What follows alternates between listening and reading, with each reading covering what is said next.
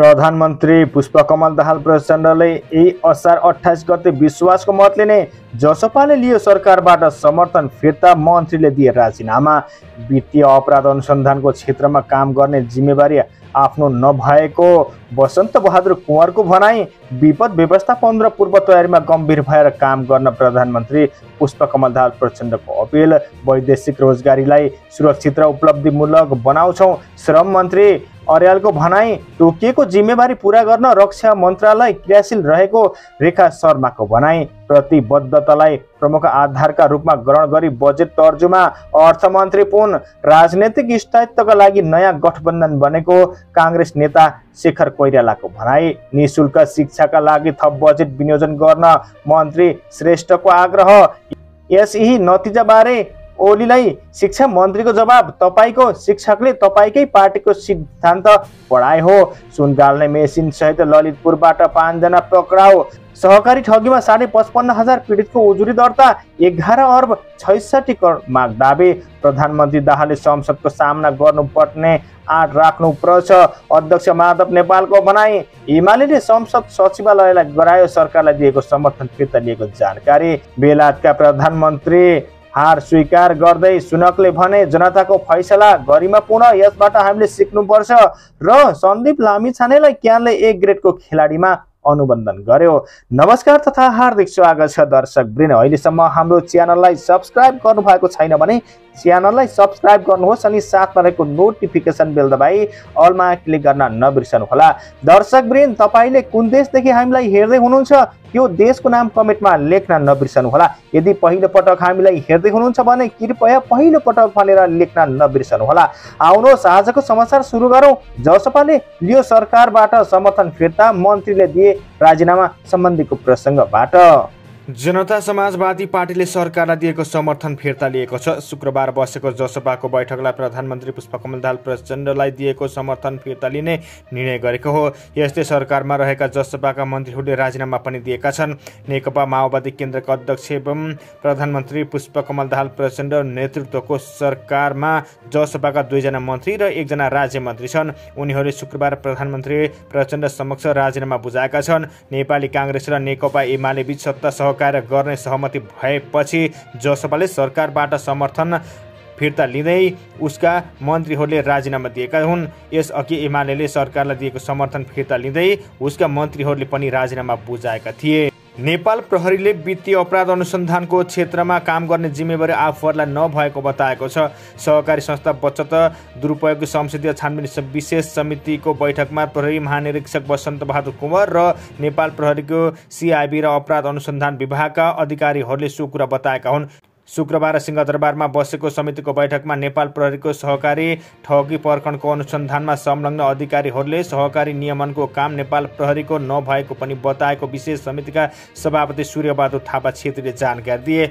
गृह सचिव एक नारायण अर्यालसहित उपस्थित बैठकमा प्रहरी अधिकारीहरूले सहकारी ठगी प्रकरणमा मुछिएका दुई सय चौरानब्बेजना मात्रै पक्राउ गरिएको र आठ सय छप्पन्नजना फरार रहेको पनि समितिलाई जानकारी गराएका छन्। यस क्रममा प्रहरीले अनुसन्धानको यो प्रक्रियाबाट सहकारी पीडितले न्याय पाउने सम्भावना नदेखिएको पनि प्रहरी अधिकारीहरूको निष्कर्ष रहेको पनि विशेष समितिका सभापति थापाले बताए। विशेष समितिले यो सम्बन्धमा नेपाल राष्ट्र ब्याङ्क र ब्याङ्किङ क्षेत्रसँग पनि छलफल गर्नु भएको छ। यसको समग्र स्थितिको बारेमा नेपाल राष्ट्र ब्याङ्क र ब्याङ्किङ क्षेत्रसँग पनि छलफल गर्ने निष्कर्षमा पुगिएको विशेष समितिले जनाएको छ। सभापति थापाले हाल समितिले सम्बन्धित पक्षसँग जानकारी लिने क्रम जारी राखेको त्यसपछि प्रमाण सङ्कलनको विश्लेषणको चरणमा प्रवेश गर्ने कार्यसूची रहेको बताए।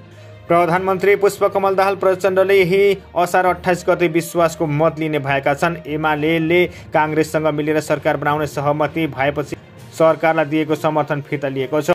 एमाले आफ्ना मन्त्रीहरूले पनि राजीनामा गराइसकेको छ। एमाले सरकारबाट बाहिरिएसँगै प्रधानमन्त्री दाहालले तिस दिनभित्र सदनमा विश्वासको मत लिनुपर्ने हुन्छ। प्रधानमन्त्री दाहाललाई दुई ठुला दल काङ्ग्रेस र एमाले तत्काल मार्ग प्रशस्त गर्न भनेका छन् तर प्रधानमन्त्री दाहालले आफूले संवैधानिक प्रावधान अनुसार सदनमा विश्वासको मत लिने भनिसकेका छन्।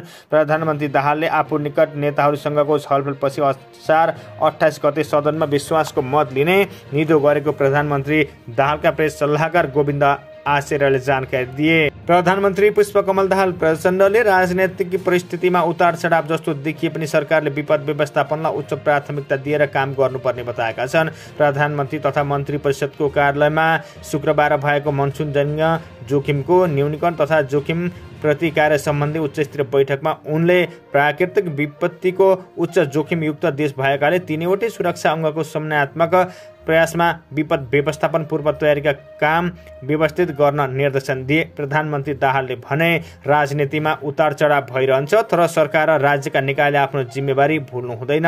नेपाल विपदका दृष्टिले उच्च जोखिमयुक्त देश हो। यो वर्ष मौसम प्रतिकूल हुने पूर्वानुमान छ। यसैले व्यवस्थित पूर्व तयारी गरौँ। विपद व्यवस्थापनमा हामीसँग स्रोत पनि छ तर कार्यविधिको झन्झटले स्रोत परिचालन गर्न नसकेको कुरा बोध गर्दै यसलाई सहज परिचालन गर्न सकिने गरी परिमार्जन गरौँ। गरौँ। राज्यका सबै निकायको सम्पूर्ण ध्यान पूर्व तयारी र जोखिम न्यूनीकरणमा केन्द्रित गरौँ। श्रम रोजगार तथा सामाजिक सुरक्षा मन्त्री डोल प्रसाद अर्यालले वैदेशिक रोजगारीलाई थप व्यवस्थित सुरक्षित र उपलब्धिमूलक बनाउने गरी नीति तथा कार्यक्रम अघि बढाइएको बताएका छन्। राष्ट्रिय सभाको शुक्रबारको बैठकमा विनियोजन विधेयक दुई हजार एकासी माथिको छलफलमा सांसदहरूले उठाएका प्रश्नको जवाब दिँदै मन्त्री हरियालले वैदेशिक रोजगारलाई मर्यादित बनाउने प्रयास भइरहेको बताए। आगामी आर्थिक वर्षको बजेट तथा कार्यक्रम कार्यान्वयनबाट मुलुकभित्र रोजगारी प्रवर्धन र असल श्रम सम्बन्ध विकास गर्ने उल्लेख गरे। मन्त्री अर्यालले दीर्घकालीन रूपमा आन्तरिक रोजगारी स्वरोजगारी उद्यमशीलता र उत्पादन प्रोत्साहन गर्ने तथा वैदेशिक रोजगारीलाई सुरक्षित व्यवस्थित र उपलब्धिमूलक बनाउने गरे नीति तथा कार्यक्रम अघि बढाइएको दावी गरे। उत्पादनशील रोजगारीका अवसर सिर्जना श्रमिकको हकित र पेसागत सुरक्षा मर्यादित कार्य वातावरण योगदान आधारित सामाजिक सुरक्षाको प्रभावकारी कारण लगायत विषयमा मन्त्रालयले ध्यान केन्द्रित गरेको सदनलाई जानकारी दिए। सञ्चार तथा सूचना प्रविधि मन्त्री रेखा शर्माले नेपाल सरकार कार्यविभाजन नियमावलीले तोकेको जिम्मेवारी पुरा गर्ने सिलसिलामा उपलब्ध स्रोत साधनको अधिकतम उपयोग गरी कार्य सम्पादन गर्न रक्षा मन्त्रालय सदैव क्रियाशील रहेको बताएकी छन्। राष्ट्रिय सभाको शुक्रबारको बैठकमा विनियोजन विधेयक दुई हजार एकासी माथिको छलफलका क्रममा रक्षा मन्त्रालय र अन्तर्गतका निकाय सम्बन्धी उठेका जिज्ञासा सुझाव एवं प्रतिक्रिया सम्बन्धमा प्रधानमन्त्रीको तर्फबाट जवाब दिँदै उनले यस्तो बताएकी हुन्। मन्त्री शर्माले नेपालको संविधान सैनिक एन दुई हजार त्रिसठी र नेपाल सरकारका सुरक्षा सम्बन्धी कानुन राष्ट्रिय सुरक्षा नीति दुई हजार पचहत्तर अनुसार मुलुकको राष्ट्रिय स्वतन्त्र सार्वभौम सत्ता भौगोलिक अखण्डता स्वाधीनता र राष्ट्रिय एकता र रक्षाका लागि नेपाली सेना समर्पित रही आएको बताइन्। अर्थमन्त्री वर्षमान पुनले आगामी आर्थिक वर्षको नीति तथा कार्यक्रम तथा सरकारले अन्तर्राष्ट्रिय जगतमा व्यक्त गरेको प्रतिबद्धतालाई प्रमुख आधार मानेर बजेट तर्जुमा गरेको बताएका छन्। राष्ट्रिय सभाको शुक्रबारको बैठकमा आर्थिक वर्ष दुई हजार एक्कासी बयासीको विनियोजन विधेयकमाथिको छलफलमा राष्ट्रिय सभा सांसदका जिज्ञासाको जवाफमा उनले नेपालको संविधान सोह्रौँ योजनाको सोच गणतन्त्र डेढ दशकका उपलब्धिको समीक्षा र विनियोजन विधेयकको सिद्धान्त र प्राथमिकतामा सांसदहरूले रचनात्मक सुझाव दिएको बताए। विगतका आर्थिक सुधारका उपलब्धि प्रगतिलाई संस्थागत गर्ने बदलिँदो विश्व अर्थव्यवस्था र मुलुकको वस्तुगत आवश्यकतालाई दृष्टिगत गरी उत्पादन र रोजगारीका अवसर सिर्जना गर्दै देशको अर्थतन्त्रलाई सबल र उत्थानशील बनाउने स्पष्ट कार्यदिशा निर्धारण गरी आगामी आर्थिक वर्षका लागि पाँच उद्देश्य पाँच प्राथमिकता पाँच रणनीति र पाँच रूपान्तरणकारी क्षेत्र पहिचान गरी बजेट बनाइएको त्यस कारणबाट यसले लिएको लक्ष्य हासिल हुने विश्वास मन्त्री पुनले व्यक्त गरे। सांसदहरूले बजेटले संविधान र नीति तथा कार्यक्रमलाई सम्बोधन नगरेको संहिताको सबलीकरणमा जोड नदिएको शिक्षा क्षेत्रमा बजेट न्यून विनियोजन भएको कृषिमा लगानी दशक घोषणा भएको तर पर्याप्त बजेट विनियोजन नभएको बजेटलाई उत्पादकता बढाउने गरी बजेट नआएको गुनासो गरे। नेपाली काङ्ग्रेसका नेता डाक्टर शशाङ्क कैरालाले राजनैतिक स्थायित्वका लागि संसदमा प्रतिनिधित्व गरेका दुई ठुला दल मिलेको बताएका छन्। शुक्रबार पत्रकारहरूसँग कुराकानी गर्दै उनले देशमा राजनैतिक स्थायित्वका लागि दुई ठुला दल मिलेर सरकार बनाउने बताए। उनले भने दुई ठुला दल मिल्नु राम्रो कुरा भए पनि लोकतन्त्रमा प्रतिपक्ष पनि त्यत्तिकै बलियो हुन आवश्यक छ। उनले भने सङ्घीयता कार्यान्वयनमा गइसकेको भए पनि सर्वसाधारणलाई यसबारे बुझाउन नसकिएको स्वीकार गर्दै उनले बजेट बाँडफाँड गर्दा प्रदेशलाई दृष्टिगत गरेर केन्द्र सरकारले बजेट विनियोजन गर्नुपर्दथ्यो विकेन्द्रीकरण माध्यमबाट चौतर्फी विकास सम्भव हुने भएकाले सबै राजनैतिक दल यो वास्तविकतालाई मनन गरी तदनुरूप गर्नुपर्नेमा जोड दिए। शिक्षा विज्ञान तथा प्रविधि मन्त्री सुमना श्रेष्ठले विद्यालय शिक्षालाई निशुल्क र गुणस्तरीय बनाउन सरकारले बजेट थप गर्नुपर्ने बताएकी छन्। राष्ट्रिय सभाको शुक्रबारको बैठकमा विनियोजन विधेयक दुई हजार एकासी माथिको छलफलमा उठेका प्रश्नको जवाब दिँदै मन्त्री श्रेष्ठले शिक्षाका ऐन नियम र निर्देशिकाको पालनाका लागि अनिवार्य दायित्वका रूपमा बजेट विनियोजन हुन आवश्यक रहेको औलाएकी हुन्। शिक्षाका लागि अतिरिक्त बजेट कसरी निर्धारण गर्ने भनेर सोच्नु पर्नेमा जोड दिँदै उनले गुणस्तरीय शिक्षाका लागि शैक्षिक गुणस्तर परीक्षण केन्द्रबाट अध्ययन र अनुसन्धान गरेर निचोड निकाल्नुपर्ने जनाउँदै उनले विद्यालय शिक्षालाई गुणस्तरीय र राजनैतिक हस्तक्षेपबाट मुक्त राख्न शिक्षक सरुवा सम्बन्धी निर्देशिका दुई हजार एकासी जारी गरिएको स्पष्ट गरिन्। शिक्षण पेसा भनेको जागिरको विषय होइन दायित्वको हो। उनीहरू जति बेला पनि विद्यार्थीको सिकाइमा केन्द्रित हुनुपर्छ मन्त्री श्रेष्ठले भने त्यसैले शिक्षकलाई कुनै पनि राजनैतिक दलको जिम्मेवारी वा सदस्यमा राख्नुहुन्न। त्यसका लागि म सबै राजनैतिक दलको सहयोगको अपेक्षा गर्दछु। नेकपा एमालेका अध्यक्ष केपी शर्मा ओलीले शिक्षकले राम्रो पढाउन नसक्दा यसै नतिजा राम्रो भएन भन्ने अभिव्यक्तिलाई लिएर शिक्षा मन्त्री सुमना श्रेष्ठले प्रतिक्रिया दिएकी छन् शुक्रबार सामाजिक सञ्जालमा लेख्दै श्रेष्ठले शिक्षकले राम्रो नपढाउँदा यसैमा नतिजा राम्रो भएन भन्नेले राजनीतिमा लागेको शिक्षकलाई कारबाही गर्छु भन्दा किन सरकार परिवर्तनमा लागेको भन्दै प्रश्न गरेकी छन् उनले लेखेकी छन् आदरणीय केपी बा शिक्षकले राम्रो नपढाउँदा दसको नतिजा राम्रो भएन भनेर प्रतिक्रिया दिनुभएछ अनि राजनीतिमा लागेका शिक्षकलाई कारबाही गर्छु भनेर मैले फाइल अगाडि बढाउँदा सरकार नै परिवर्तन गर्न खोज्ने तपाईँको शिक्षकले तपाईँकै पार्टीको सिद्धान्त पढाए मात्र हो। अब बिहिबार एमालेको भातृ सङ्गठन अन्ध्रसभ्य रूपन्देहीले हिमा उत्कृष्ट नतिजा ल्याउने विद्यार्थी र विद्यालयको सम्मान कार्यक्रममा बोल्दै ओलीले शिक्षकहरूमा विद्यार्थीले बुझ्ने गरी ज्ञान प्रदान गर्ने सिप नहुँदा एसईको नतिजा खस्किएको आरोप लगाएका थिए। ललितपुर प्रहरीले सुनगालले मेसिन सहित पाँचजनालाई पक्राउ गरेको छ। शङ्कास्पद कारोबारमा संलग्न रहेको आशंकामा तीन भारतीय र दुई नेपाली सहित पाँचजनालाई बिहिबार पक्राउ गरेर शुक्रबार सार्वजनिक गरेको हो।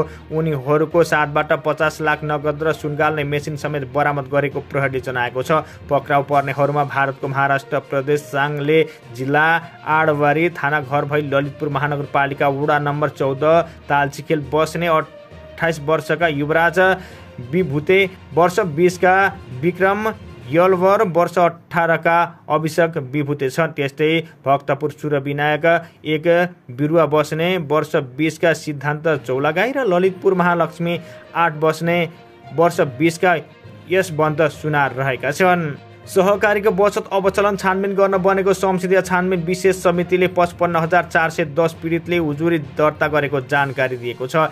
त्यसमध्ये सबैभन्दा बढी काठमाडौँ जिल्लाको रहेको समितिले जनाएको छ। काठमाडौँबाट पाँच हजार छ सय अडचालिस पीडितहरूले उजुरी दिएको समितिले जनाएको छ। जसमा सहकारी पीडितहरूले एघार अर्ब छैसठी करोड सत्तालिस लाख माग दावी गरेका छन्। शुक्रबार समितिले सहकारीको बचत अवचलनबारे गृह सचिव एकनारायण अर्याल प्रहरी महानिरीक्षक बसन्त बहादुर कुमार सिआइबी प्रमुख श्यामलाल गेवाले अपराध अनुसन्धान विभाग प्रमुख टेक बहादुर तामाङ सहितसँग छलफल गरेको थियो। नेकपा एकीकृत समाजवादीको अध्यक्ष माधव कुमार नेपालले वर्तमान सरकारले संसदको सामना गर्ने आँट गर्नुपर्ने बताएका छन्। शुक्रबार महाधिवेशन स्थल मा सञ्चारकर्मीहरूसँग कुराकानी गर्दै उनले यस्तो बताएका हुन्। उनले आफू अहिलेको सरकारमा कायम रहेको उल्लेख गर्दै यस सरकारले संसदको सामना गर्ने आँट राख्नुपर्ने बताए। पार्टीहरू बिचको सम्बन्धलाई कायम राख्न आवश्यक रहेको उनको भनाइ छ। सबै राजनैतिक दलहरूले संसदलाई बलियो बनाउनका लागि र अहिलेको परिपाटीलाई बचाउन जोगाउनका लागि मिलेर अघि बढ्नु पर्ने उनले बताए। उनले आफ्नो दलले लोकतन्त्र गणतन्त्र संविधानको रक्षा गर्न परिवर्तनको गतिलाई तीव्र बनाउन सकारात्मक भूमिका निर्वाह गर्ने बताए। उनले भने हामी अहिलेको यो सरकारमा कायम रहेका छौँ। यो सरकारले संसदको सामना गर्ने आँट राख्नुपर्छ। हाम्रो पार्टीहरूको बिचको सम्बन्धलाई कायम राख्नुपर्छ। सबै राजनैतिक दलहरूले संसदलाई बलियो बनाउनका लागि र अहिलेको परिपाटीलाई बचाउन झुकाउनका लागि मिलेर अघि बढ्नुपर्छ। हामी लोकतन्त्र गणतन्त्र संविधानको रक्षा गर्न परिवर्तनको गतिलाई तीव्र बनाउन सकारात्मक भूमिका निर्वाह गर्छौँ। नेकपा एमाले प्रधानमन्त्री पुष्पकमल दाहाल प्रचण्ड नेतृत्वको सरकारलाई दिएको समर्थन फिर्ता लिएको जानकारी संसद सचिवालयलाई गराएको छ। शुक्रबार प्रमुख सचेतक महेश बर्तौलाले प्रधानमन्त्री पुष्पकमल दाहाल प्रचण्ड नेतृत्वको सरकारलाई दिएको समर्थन असार उन्नाइस गते फिर्ता लिएको पत्र संसद सचिवालयलाई पठाएका हुन्। अब नेकपा एमाले संसदमा प्रतिपक्षमा रहने पनि बर्तौलाले जनाएका छन्। राष्ट्रिय सहमतिको सरकार गठन गरी राजनैतिक स्थायित्व प्रदान गर्ने उद्देश्यले नयाँ सरकार गठनको पहल गरिएको परिप्रेक्ष्यमा सरकारलाई दिँदै आएको समर्थन फिर्ता लिएको बर्तौलाको भनाइ छ। बेलायतका प्रधानमन्त्री एवं कन्जर्भेटिभ पार्टीका नेता ऋषि सुनकले आफ्नो हार स्वीकार गरेका छन्। बिहिबार भएको निर्वाचनमा कन्जर्भेटिभ पार्टीले नराम्रोसँग हार बेहोरेपछि उनले आफ्नो हार स्वीकार्दै लेबर पार्टीका नेता सर कियर स्टार मरलाई बधाई दिएका छन्। बेलायती जनताले गरिमा पूर्ण निर्णय गरेको भन्दै उनले यसबाट सिक्नुपर्ने बताए। उनले हारको जिम्मेवारी लिँदै नयाँ बन्ने सरकारका लागि लेबर पार्टीका नेता स्टार मरलाई बधाई दिएका हुन्। निर्वाचनमा सुनको कन्जर्भेटिभ पार्टीले निकै नराम्रो हार बेहोरेको छ।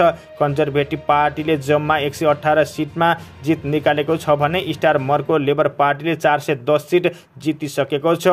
बेलायतमा बहुमतको सरकार गठनका लागि तिन सय छब्बिस सिटको आवश्यकता पर्छ। चौध वर्षपछि लेबर पार्टी बेलायती सत्तामा फर्किँदैछ। राष्ट्रिय क्रिकेट खेलाडी सन्दीप लामी छानेलाई नेपाल क्रिकेट सङ्घ क्यानले ए ग्रेडको खेलाडीमा अनुमोदन गरेको छ। नेपाल क्रिकेट सङ्घ क्यानको असार बिस गते बिहिबार सम्पन्न केन्द्रीय कार्य समितिको बैठक टी ट्वेन्टी अन्तर्राष्ट्रिय प्रतियोगितामा सय विकेट लिन सफल भएकोमा सन्दीप लामी छानेलाई बधाई दिँदै उनलाई जुलाई एक दुई हजार चौबिसदेखि डिसेम्बर एकतिस दुई हजार चौबिससम्म ए ग्रेडमा रहने गरी केन्द्रीय सम्झौतामा अनुबन्धन गर्ने निर्णय गरेको हो।